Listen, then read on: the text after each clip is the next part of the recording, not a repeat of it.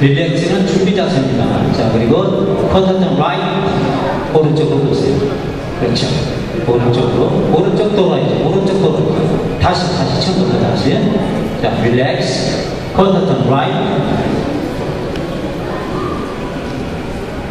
돌아서는 포즈를 취해야 돼요. 그냥 그냥 돌면 안 돼. 다시 보니치.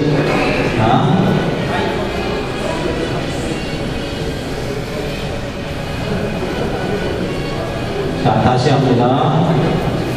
릴렉스. 버터 더 브라이. 그렇죠. 아, 돌아야죠. 돌아서서 그대로 있어야 돼요.